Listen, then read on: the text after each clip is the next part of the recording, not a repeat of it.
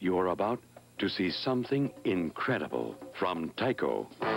Silver Streak Curve Huggers now defy gravity as they hang on through Tyco's new double loops. But that's not all. Turn out the lights.